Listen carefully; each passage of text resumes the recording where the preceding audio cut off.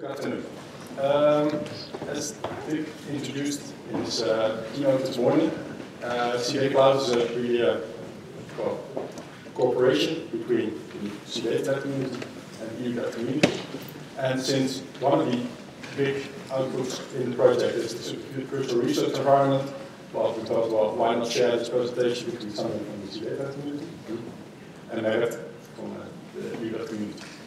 So uh, we do a swap halfway to make it. Um, well, I'm not uh, starting before I say, well, this is a, uh, it's a really a team effort. We're about 12, 15 people working on this. Um, I didn't listen because then I always forget somebody. So I just say the work package team today. So quickly about what our VRE is. I'll start with that, and then uh, some progress of the individual components. So one already presented by Sebastian. This the after lunch. Um, and then I hand over to, uh, to Merit for the architecture and the EUDAT uh, backend that uh, supports all the, all the work. And then outlook, actually where we are now and what you can expect. So our the, the, the, main requirements, let's say, were that, um, that we wanted to facilitate collaborative and individual research, provide more to the user, um, so far in SeaDataNet, we've always been working a lot of standards and, and data standardization. But, well, we, we thought of the user, but more as, let's say, the scientists from within our community, but we want to reach out to other users as well. Um, allowing them also to combine uh, subsets, work more with the data they find through the CDI uh, system. Um, of course, when we provide processing services, it needs to have high capacity and performance, good performance, because otherwise well, people will start downloading again, and that's what we don't want. We want them to work in theory. Um, we want to uh, provide specific services, specific tools to specific users, and depending on who you are, you will get different uh, tools. Uh, so they get a specific workspace, uh, and of course you need to be able to share uh, the, the data that you have. And I realize I to set my time. you will tell me. Yep. Um, and then everything should be based on uh, uh, the EUDAT platform. So with, uh, with the B2 services that you will have seen introduction of just five minutes after me. Um, we aim to support at first five use cases, which is, um, well, I've listed them here. The first one, and that was red, and that's what we're working on now, is the temperature salinity data product um, uh, analysis, so column analysis. We will focus after that also on one for specifically targeted to uh, chemistry products, um, biological quality assessment, uh, so taking the data from the CDIF and the CDI system and being able to uh, control, that. Uh, we, have, we have one work package on the DTM processing for uh, chemistry and then in general to do more on processing and visualizing data sets. And of course, when we will have all these tools, we will also have automatically a set of tools that we can deliver to well, the, the, the user in general, that we focus on, on these use cases.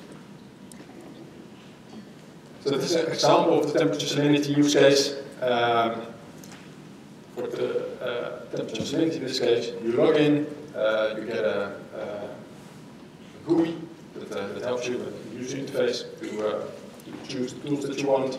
You apply something, you use WebODV then in this case, you apply uh, quality control, you save the results, you can email them, um, then you apply DIVA, you introduction to that I think on Wednesday, um, or you uh, work in the Jupyter Notebook, you view the, the output, and then again you save it and you can uh, get a DOI and uh, uh, release it in catalog described via metadata.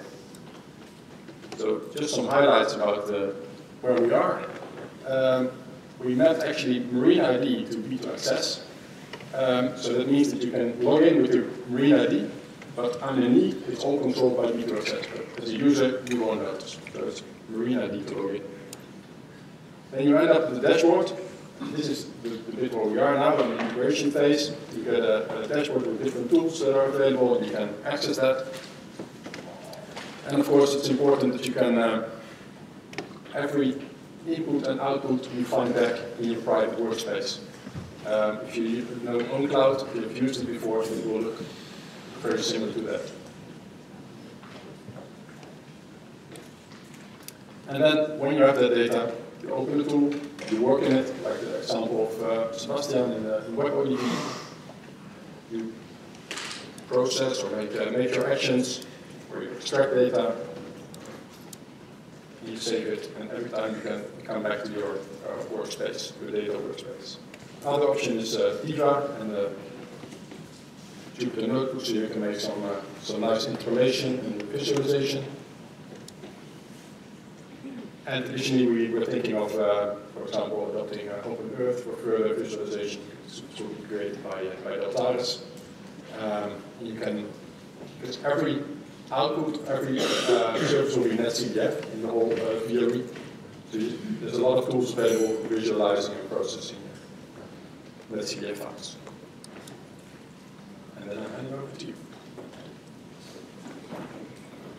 Yeah, okay, so um, I will talk a little bit about the, um, well, a bit more of the technical part of what's behind this uh, VRE that you've been seeing.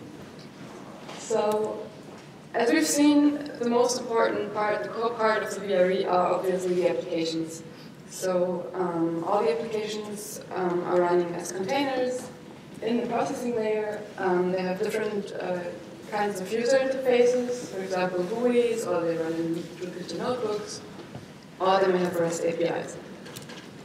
In that case, of course, they need some kind of client to work with them. Uh, the second important part of the VRE is obviously the data that the applications are working on. So here we have the CI data that is being accessed by the, um, by the applications and some other like reference data sets, some often used data sets. These, of course, need to be accessed by the services. Um, another thing that Peter has already been talking about is the private workspace for the different users. So every user has their own workspace to store their own results or their own input data. So there's some uh, user workspace for the data uh, for the user Alice, some for the user Bob. And of course, these users want to also be able to share data they're working together in a team. All of these parts are tied together by some common front end. Um, there's going to be a, a JavaScript frontend which is developed by Ifremer at the moment. And that frontend also handles the single sign-on. So a user only needs to sign in once, and then there's no hassle having to authenticate again for every different service you use. This frontend is going to be able to uh, going to be customized for different user groups. Um, we're calling this virtual labs. So depending on whether you're an expert user or like a, a bit more well, starting user, you can have a different um, front end that you see.